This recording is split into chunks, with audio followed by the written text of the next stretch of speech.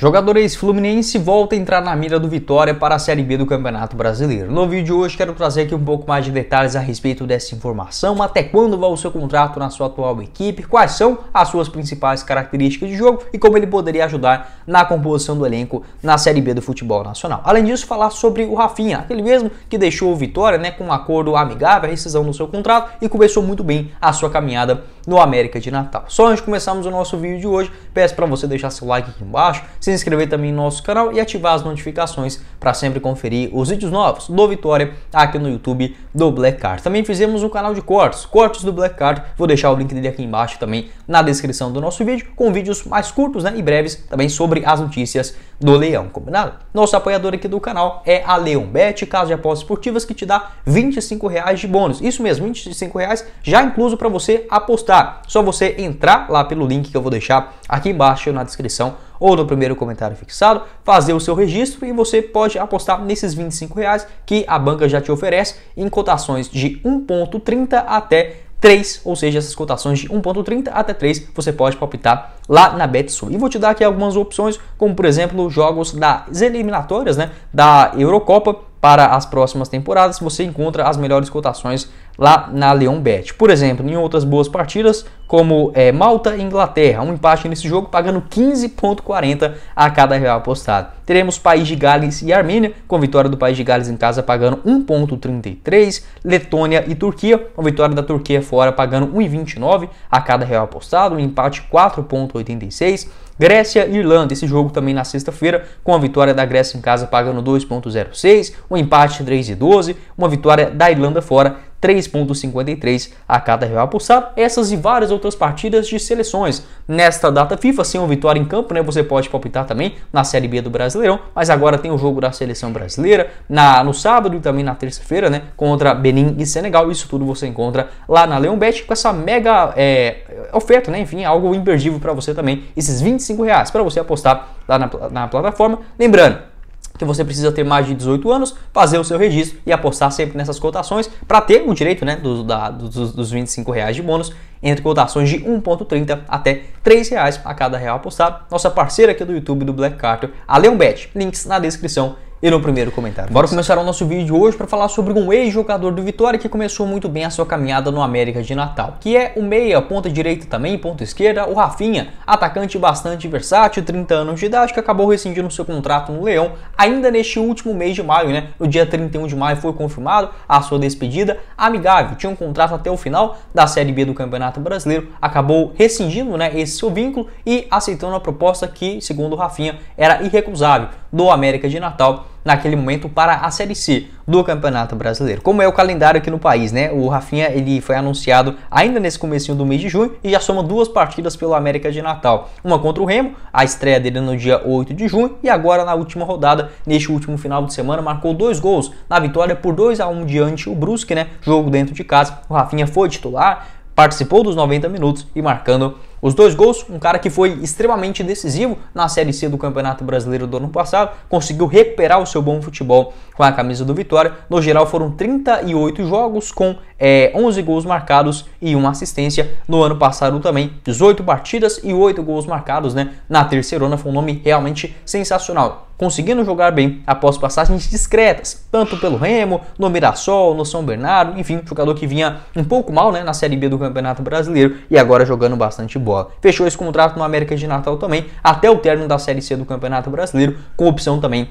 de renovação de contrato. Pode deixar sua opinião aqui embaixo nos comentários sobre o versátil e decisivo Rafinha, um nome importante na Série C do ano passado com a camisa do Vitória e agora novamente disputando a Série C com a camisa de outro clube do Nordeste, no América de Natal, que vem retomando né, é, a, sua boa fase, enfim, tentando sair das zonas de rebaixamento e o Rafinha sendo bastante decisivo nessa vitória por 2 a 1 nessa última rodada no final de semana. Seguindo aqui com o nosso vídeo, quero falar sobre o interesse do Vitória novamente em contar com a contratação do atacante Matheus Gonçalves, aquele mesmo ex-Fluminense, Ceará, atualmente disputa a Série A do Campeonato Brasileiro com a camisa do América Mineiro, onde tem contrato até o final da atual temporada. Matheus Gonçalves, que de fato não vem jogando com muita frequência, até aqui soma apenas nove jogos na atual temporada, com uma assistência para os seus companheiros. A última atuação dele aconteceu na derrota do América Mineiro para o Botafogo fora de casa, derrota por 2 a 0. Ele entrou já faltando 15 minutos para o duelo inicial. Foi titular em apenas um jogo, agora recentemente também na partida contra o Internacional, nas oitavas da Copa do Brasil. Ele entrou e foi substituído ainda no final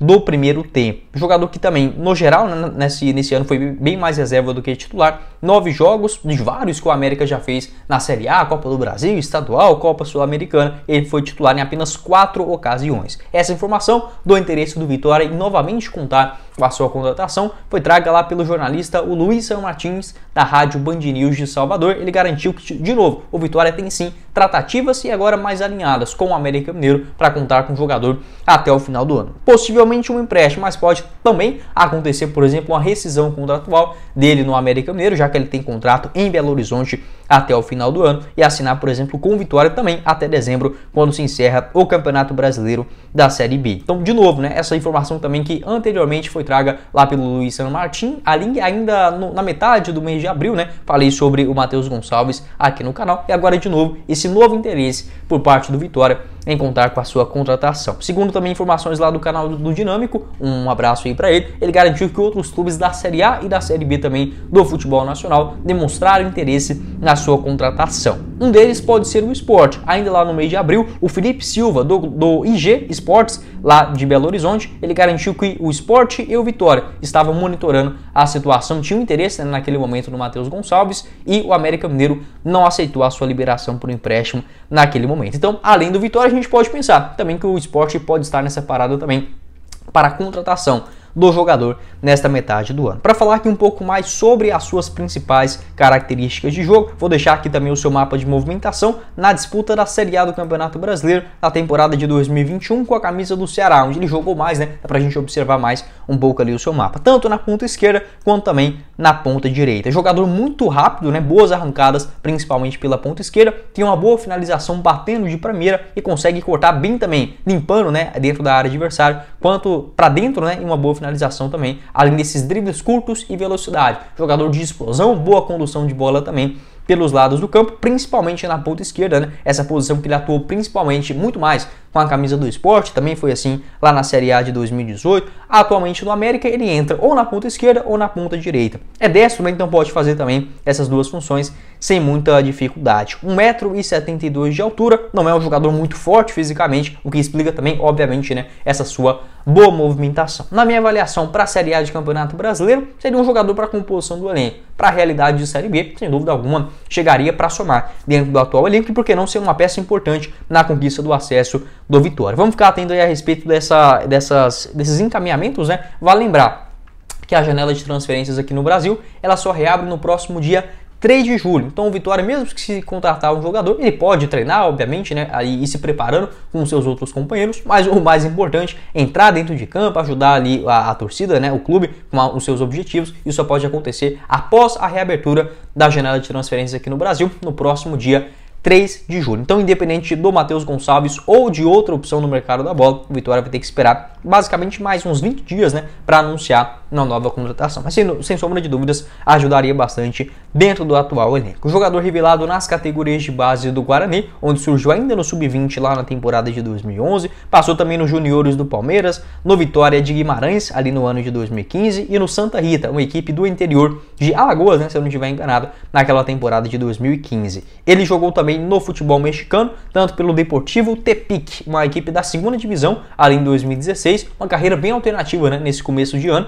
É, ele nesse começo de trajetória ele passou tanto no Brasil quanto em Portugal, estreando ali de fato nos profissionais com bons números lá no México na segunda divisão. Foi contratado pelo Pachuca no ano seguinte, não foi tão bem aproveitado, passou também em uma equipe chamada Chiapas, o Tijuana, também na temporada de 2018, com oito partidas e dois gols marcados até ser contratado pelo Sport Recife, né, onde inicialmente integrou o elenco sub-23. Logo foi para o time principal e foi um nome importante na Série A do Brasileirão, participando naquela reta final do ano de 14 jogos, 3 gols marcados e uma assistência. 2019 foi contratado pelo Fluminense, ainda emprestado pelo Tijuana do México. No Flu não conseguiu um grande desempenho, foram apenas oito atuações e repassado para o Ceará, que também naquele mesmo ano, né, em 2019, jogou a Série A do Campeonato Brasileiro. Com bons números também, 24 jogos, 4 gols marcados e uma assistência. A sua última temporada no, no Vozão aconteceu em 2020, 32 jogos com 3 gols marcados, foi mais reserva do que titular, principalmente na reta final do ano, né?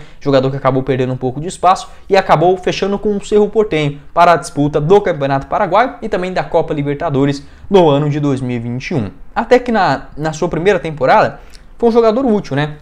Ele fez 33 jogos naquele primeiro ano, de novo, né, saindo do país, dessa vez no Paraguai, porém marcou apenas um gol e outro passe também. Na temporada de 2022, somente três jogos, teve uma grave lesão antes desse retorno no América Mineiro, somando até aqui nove atuações com apenas uma assistência. Pode deixar sua opinião aqui embaixo nos comentários, o que, que você pensa tanto a respeito do Matheus Gonçalves, esse jogador que não tem assim uma experiência muito grande né, na Série B do Campeonato Brasileiro. É, ele jogou aqui no Brasil, principalmente na Série A, foi assim no Esporte, no Fluminense, no Ceará e agora no América Mineiro. A minha avaliação seria assim um bom nome para a disputa da segunda. Pode deixar sua avaliação não só a respeito desse jogador, como também sobre outras posições que o Vitória precisa se reforçar para a sequência do ano e obviamente conquistar né, esse acesso que seria de extrema importância para a Série A do futebol brasileiro. Esse foi o vídeo, espero que vocês tenham gostado. Não esqueça de deixar seu like aqui embaixo, se inscrever também no nosso canal e ativar as notificações para sempre conferir os vídeos novos do Vitória aqui no YouTube do Black Card. Se inscreva também no nosso canal de cortes, o Cortes do Black Card. Vou deixar o link dele aqui embaixo na descrição. Tem um plano de membros para você ter acesso em primeira mão em todos os vídeos que gravamos aqui no canal. Mais informações aqui embaixo também.